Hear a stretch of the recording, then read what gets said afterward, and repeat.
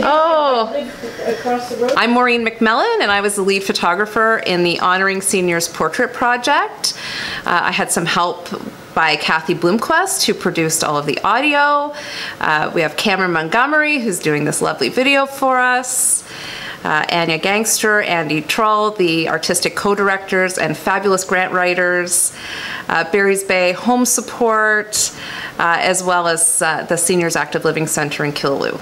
There were 63 seniors in total. Uh, some came in couples, some came by themselves, who came out to be photographed in support of this project. It really challenged my own perceptions about aging and what it's like to uh, be a senior. The lady I photographed, who was 102, was probably one of the spunkiest human beings I have ever met in my life. I have a very soft spot for uh, my elders in my community. I love our seniors so much. I think even people in my age kind of overlook the uh, contributions that seniors have to make to our communities. And I think hopefully this project will be like a wake up call and we can start to shift our perceptions. Video. Well, well, this is even better. This is you're going to be on video. Oh shit. I guess I didn't specify. so it's two questions. Well, three questions. So these. So I'll tell you the questions. Yeah, we can give some And- thought to that. And and Marita is coming also is around six. Okay. So It's yeah. We're hoping we're hoping mainly to use this for our big grand opening, which you will all be invited to, of course. Okay. Yeah, we're gonna have music and food and. Yeah. When's that? April the third. Anya Anya is putting the posters together. Right. Yeah, we just booked the space. Hmm. Do we need more lipstick? So good. Yeah, I'm okay. Yeah, no. All right. I wasn't thinking you're taking my picture today, Oh, so. you look beautiful. Oh, yeah, right No, you do in this light, Linda. You, You look do. absolutely beautiful. Oh, well, thank you, thank you. I guess we'll do, yeah, right. Without being pregnant? Exactly. Or maybe you can talk about that. yeah, yeah. Who are you? Hi, well, I'm a citizen of the local Madawaska Valley. Uh, born and raised in Killaloe, uh, lived out of the area for a while, and then returned to the Wilno Bay area in 1979 when I took a job uh, as a registered nurse at the Valley Manor that had just opened the year before. And I worked there for a total of 34 years, uh, first as a registered nurse, and then um, 23 years as the administrator of the long-term care home. So I've uh, I've had a mainly my career has been in caring for the elderly citizens of our community. Aging, I believe, is what you make of it. Um, your actual age is only one factor, and I believe not really the significant factor. Uh, aging, I think, is more about your level of dependence or independence. Uh, it's a state of health. Uh, I've known uh, a few 100 year olds who could tend their garden and felt that they should go home and not be at the home, at the nursing home, because everyone else there was too old. And yet I also have experience with people who were 70 and because of illness and debilitation uh, probably looked closer to 90 or 100. So uh, I think your age is just a simple number. Uh, your interest in life, your interest in learning, and uh, ongoing adventure in life is really probably the most important factor I, I think about aging. And uh, we are, to a lot of extent, uh, the determinants of our health and the determinants of our age. In actual fact, uh, you can't deny uh, the year you were born, but you can deny some of the uh, old myths. You can um, try and negotiate a better life, no matter uh, how long you live. Oh, I love you, Linda. And are you? and perhaps, I'm sorry, I'll probably think about 500 other things I should have said, but Sure, the minute you leave. After. Who, who would like to go now? Would you like to come? Sure, I'll go for it. Oh, Frank's gonna come. Frank's oh, gonna I'm ready now. I'm not as scared as I was. Okay. Just be scared of the cords. That's the only. Okay. No, this process started, the Now, where am I supposed to look? Look at the camera. At the or if camera. that's weird, look at the mic or, you Okay. know. But your goal is to look at the camera. God, you look so good, Frank. I know. This lighting. Oh. Who are you? Uh, Frank Teddemer. I live near Hopefield. I live near Emmett, and I live near Rockingham, somewhere in the triangular area of the center of all that. What are some things you wished people knew about aging? Wow, there's lots to know. There's lots I didn't know, that's the main point. I have spent most of my years uh, working physically and basically wore my body down to a nubbin. So I've had all kinds of parts replaced, and uh, it's something that I could have prevented likely if I had been a little easier on productivity. And I kind of think that's a good thing for men to pay attention to because as a male, we're all told to be productive and bring home the bacon and all that sort of early, early childhood conditioning. And it's taken me till my 60s before I went, okay, that's not true. uh, the other thing about aging that's interesting is that if you're working for yourself, which I did a lot of, various different small jobs and small businesses that were generally failures, um, the only thing that I actually got to pay much uh, CPP on, or whatever it's called, the uh, pension plan, was the last 15 years. And if you're only paying in the last 15 years, you don't get diddly squat. You get less than a thousand bucks a month, which is a kind of a reality sandwich that I didn't chew on or even taste. I didn't even consider it when I was uh, in earlier years in the 40s and 50s when I could have been thinking about it. So I think that's something to consider for people who are trying to ignore aging. Uh, I think what Linda was saying about the idea of yourself is pretty important. However, the body of yourself usually says something else. So if you've had a lot of injuries, then you're going to have a lot of aches and pains, just which is kind of normal and to be expected. And if you get kind of uptight and a little upset about how come I'm hurting all the time when I wake up in the morning, you look back and you reflect and you go, it was up to you. So my daughter said when she saw the picture of you in your room with your cactuses, I don't know if you remember, we went in your house and we went, you know, you had all those cactuses set up and we Oh, did some pictures in there and she's like, Frank is like goals. she's like, I want to be Frank when I grow up. Get squared around here. I'm Marie Edmansky. I was born and raised and did my schooling in Barry's Bay. Left Barry's Bay to go to, to nursing school. Um, I've had a terrific career. I taught nursing for many, many, many years, like 25 maybe, as a nursing instructor, professor, uh, and I was educated to be a uh, director of nursing in a, an acute care setting and an administrator in a long-term care setting. So I decided towards the end of my career that what the heck, what have I got to lose here?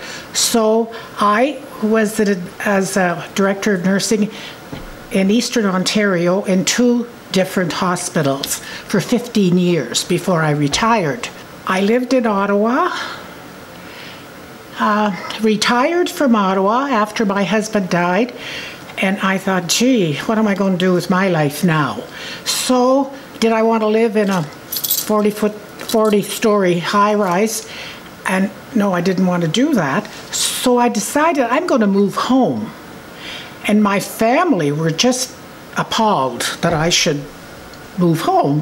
What are you going to do up there? I said, We'll see what I'm going to do up there. So I did that. I have had a very active life in Barry's Bay, believe it or not. I have a lot, a lot of friends, and my friends are not my age. Few are. Most, the youngest one is 42 years old, and she's the the director of nursing at St. Francis at the moment. I love people. I love to go out. I don't know what it is, but I certainly, certainly have a lot of friends. There's no doubt about that. I was always an, out, an outgoing person. So with aging, with me, nothing really changed because I'm the same person now that I was at 50 and at 40 in personality and whatever the case may be, except I have more time now. As time moved on, when you hit 65, 75, and I'm going to be 85 in a couple of weeks. So I just said to myself, well, okay, here goes. I'm not going to live forever. And there's longevity in my mother's side of the house. I have an aunt in Barry's Bay that's going on 101. My mother died at 101. I'm hoping to get there myself. So I just decided, being a positive person, that, and that's key to aging. You, you can't be a crybaby or you can't sit in the corner and feel sorry for yourself. You've got to stimulate your brain. You have to go out socially. You have to look presentable.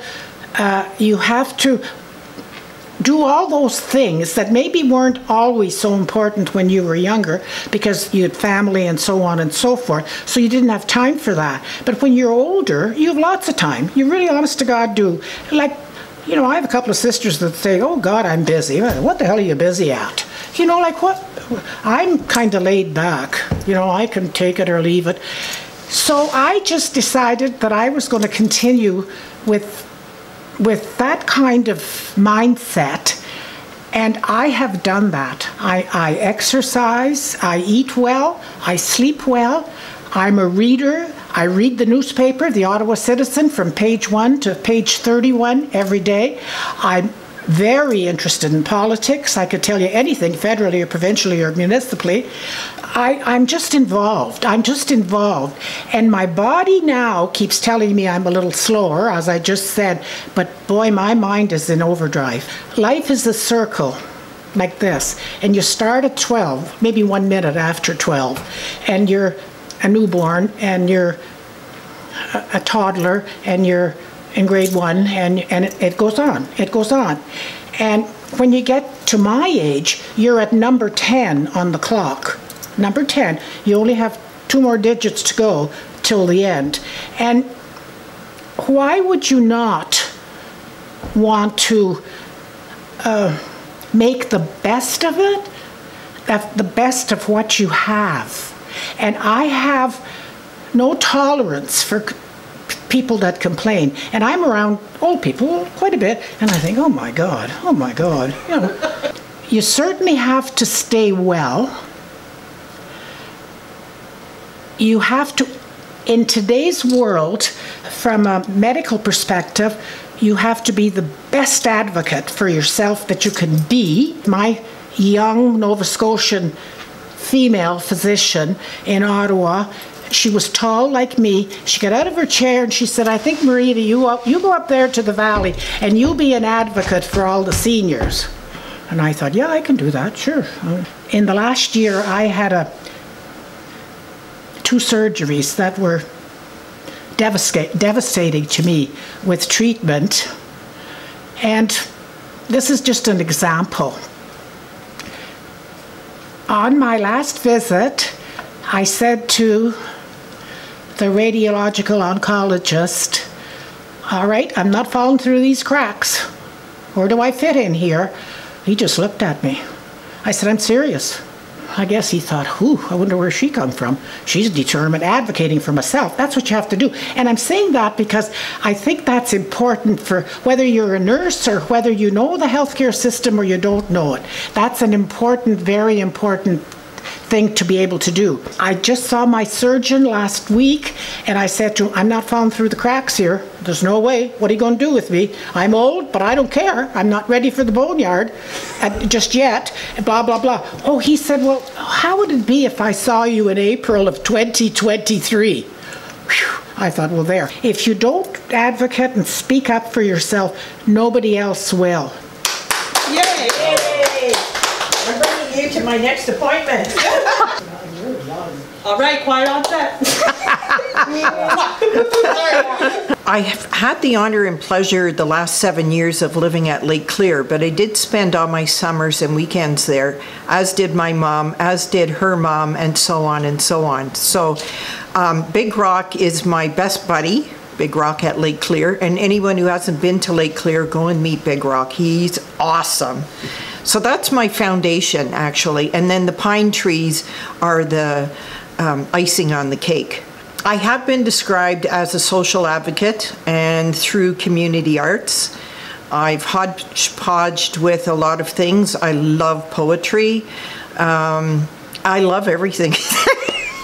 if it was up to me, I would have 50 more lifetimes just having a blast.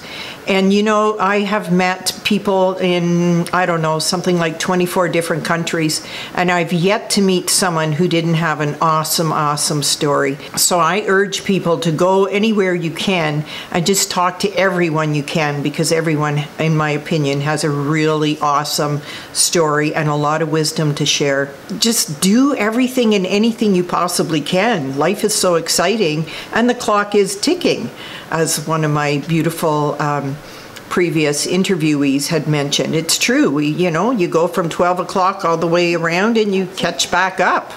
And, you know, as I'm creeping very close to 70, which isn't that old, however, I keep thinking, you know, in what do I want to do in the next 25 years? So I, I suggest to everyone just embrace life the best you can and make one of those bucket lists and please tick off at least most of the items on that bucket list because you never know when, boom, there you are gone. And what was the process of having your photo taken like for you?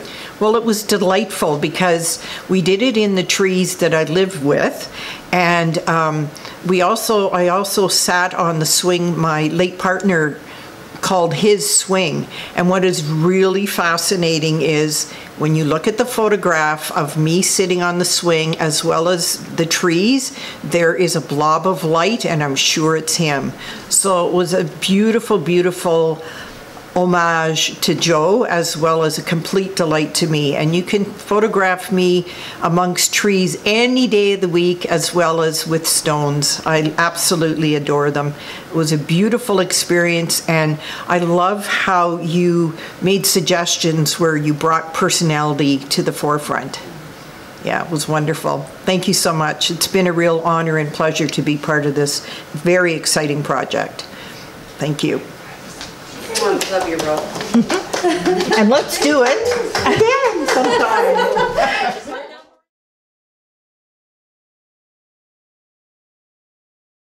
Honoring Seniors, the Creative Photographic Project. What is this project about? Ottawa Valley Community Arts and her community partners are working with seniors to honor their lives and contribution to our community. We are doing this by collecting stories and taking photographic portraits of up to 50 seniors. The portraits are taken in a location chosen by the participants. The stories and portraits will be exhibited publicly at the end of the project and will also be turned into a print book. Why are we doing this? Why are we doing this? We are challenging existing stereotypes and preconceptions by creating a senior centered art exhibition and publication where people are presented to the public in a respectful, professional, and ultimately beautiful way. The project will support seniors to explore creative expression. Through the process, the participants will be empowered to show the world who they are and have center stage. My name is Charles Joseph My name is Belair. Marcella Keel, and I'm 95 years old. My name is Aurelia Skibo. My name is Betty Mullen. I was born in 1928. I was born in Killaloe. My name is Robert. I'm 93 years 85 old. I am years born in ago. And I was born in Pembroke. In Killaloe. Joan right I was born in Brockville, Ontario. I was born in Granamo, And, uh, But we we Quebec. moved as born in Old small Killaloe. child to Killaloe. and I live Bay. here in, in town. Okay, and I am Now. 77. I'm a young 85 year old. My name is Betty Mullen. I was born in Killaloe 85 years ago. My name is Aurelia Skibo. I was born in 1928. I'm 93 years old. And I was born in Pembroke, but moved as a small child to Killaloe and spent most of my life here. So tell us about the location, the log house. Oh, for the picture. Yes. It meant a lot to us because it was our homestead. We grew up there and we still live right close by it. It's always been a something in our memories or A meeting place, too, meeting. eh? Yeah. we would have our parties there and our stag and does and Mm-hmm. anybody getting married. That's where you'd gather. So what was it like living in this house, in this It was log cold. house? Cold is the word I remember. The water had freeze in the stove and the kettle. I don't know. We just didn't keep fires on all night. It wasn't easy. No. No, Yeah. it wasn't, and then there was nobody. Like Aurelia had the tough job because she was the oldest, but um, nobody there to show you proper ways of doing things. Eh? Honestly, when I when, I was about um, fourteen or fifteen and um, went and tried to get a summer job, we didn't have electricity still at that time when I was fourteen, and. I went to work for Jane Callahan. and I didn't know how to how a vacuum cleaner worked or any she had to show me everything, eh? I didn't know any of that stuff. So anyway, we were pretty dense. Well, Ho ho ho ho ho ho! Merry My Christmas! name is Charles Joseph Belair. and little girl. I was born in Granamu, Quebec. why did you start becoming Santa? What started Santa Claus? Okay, maybe you know her. She she's a school teacher. Pia is her name, and and her husband Peter. They asked me to be Santa Claus. I said okay, but I don't have a suit. They they had it made. They brought me to the tailor, and she made it. Uh, at first, I was I was nervous, but, but I was nervous for about five seconds. After that, I became good old Saint Nick. It was the same thing the first parade. I was excited as much as every kid in the street, and I made a point of waving to everybody. You know, I singled them all out, and they all re- respond with a with a big hand thing. I kept all the, the the things that the kids gave me, you know, what they wanted for Christmas and things like that. Like one kid, he gave me a page, then another page and another page, and he said, "I want everything." No. Your dad rich? Even the high school kid who came, you know, and they wanted their picture with Santa Claus. I never refused anybody. Mm-hmm. Never. Because you've been in a lot of pictures, haven't you? Oh. They took tons of pictures of me. Tons of them. Ho ho You know? ho ho ho ho ho ho Ho, ho, ho, ho, ho, ho, ho, ho, ho, Baloney! Ho ho ho! Merry Christmas! A picture holds time, memories, and split seconds and magical moments. Holding past memories, magical mysteries, split second, forever kept. A picture forever holds memories and moments, past, present, and future. Just a split second I forever hold in hand this magic moment. And a picture forever holds memories and moments, past, present, and future. A picture forever holds memories and moments, past, present, future. Holding memories forever, mysterious, Picture magical time, moments. Memories in split seconds. Magical Holding memories, moments. Forever mysterious, forever. magical moments, holds memories and magic moments, moment, past, past, memory, and present, hold in future. Hand. split second Holding forever. memories, forever mysterious. Holding past moments, magical mysteries, split moments. seconds forever kept. This magic moment. Memory Picture holds time, in memories, split in seconds, seconds, magical moment, by moments. split seconds. This magic memory moment, forever split hold. second memory, I forever hold.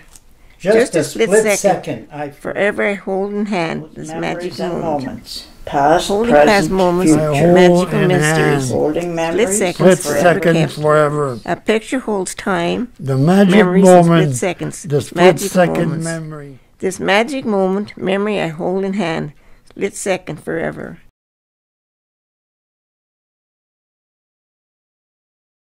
You know, I don't ever, ever remember. I mean, I left home when I was 14. I don't ever remember living on a farm. They had a camera. I don't ever remember after the war when I moved back to Montreal. Then uh, there was never a picture taken. It wasn't easy back then to have pictures taken. You had to get a photographer, you had to. We didn't have cameras when that, that not far back. We were too poor. We did have a camera. There was a camera in the family, a real old. You uh, pulled it up, and it was all this accordion-like uh, thing, eh? And uh, I have always had a camera.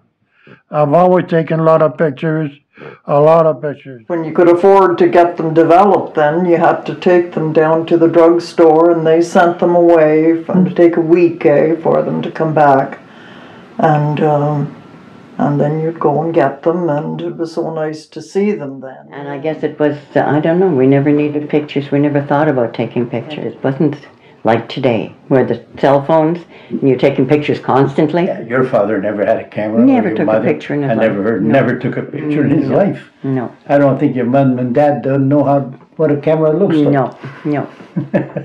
No, never did. Who took the pictures? In my family. We all did. My grandmother. She was one of the first ones that I can remember taking pictures, actual pictures. And I know the army used to come through all the time and they would stop and they would stop at grandma's. Okay, and they would be a party.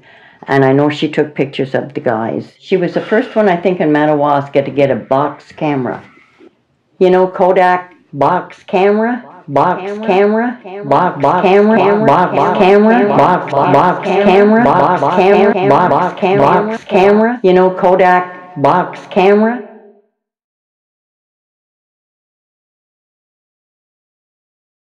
A picture is worth a thousand words. Yeah, it's just having the people that are in it that you can remember them by. Yeah. A picture is worth a thousand words. Remember what they look like. And, uh, a picture is worth a thousand words. Sometimes I'll stand up there and look at all the pictures. I'm there. Even if I'm not in the picture, I'm there. I often see older pictures that you wonder what it would have been like to be there. A picture, a picture, a thousand words, a thousand words.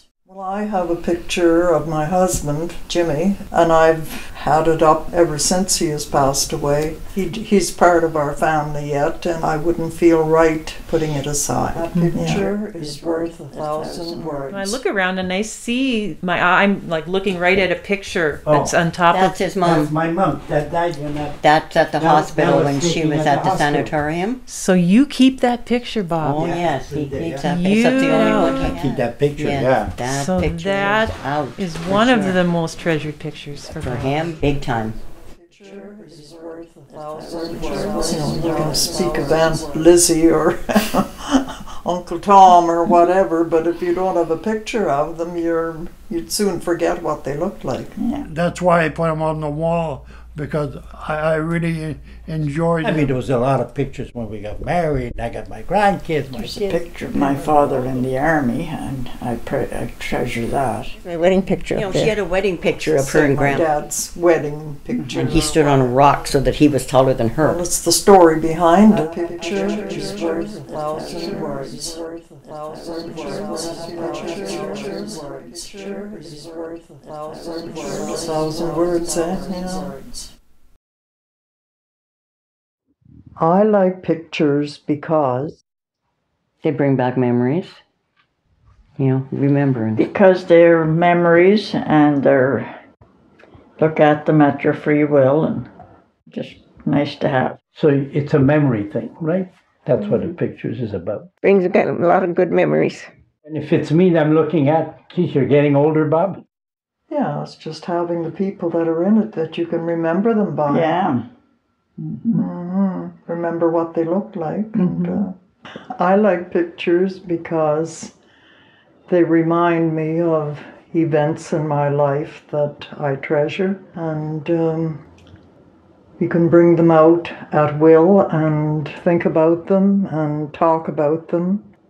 They are um, a good reminder of things that happen.